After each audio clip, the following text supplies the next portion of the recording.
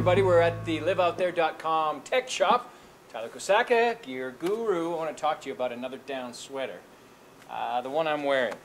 I love it. Tell me about it. Beautiful piece, actually. The Mountain Hardwear Nitrous jacket. This guy is, again, using a really high quality down. So we're using 800 fill power down. So it's pretty much the highest quality down you can get on the market these days. Right?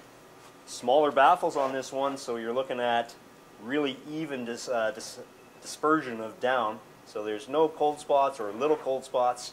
It's going to be nice and low profile. You notice that it is trim fitting, even for you. That means you can layer over top of it really, really easy. You also notice that it is baffled in shapes, which means again, going to be a better fit. It's going to make you uh, able to move, ex- sit down nicely on your shoulders.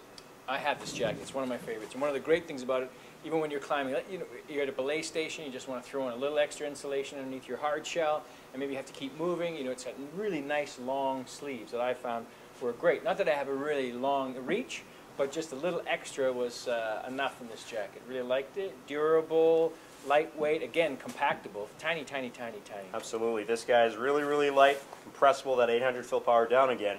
Big feature is squash that little guy down, stick it in the pack if you don't need to wear it, bring it out when you do need.